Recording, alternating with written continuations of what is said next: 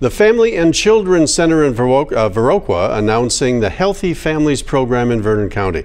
Now, that program in La Crosse County is 30 years old. Now it's in Vernon County. The Healthy Families Program provides support, encouragement, and education for young families. Because of this program, the kids have uh, better birth weights and fewer complications, so it reduces health care costs. Our families get financial um, education and training and support, so they're more financially stable.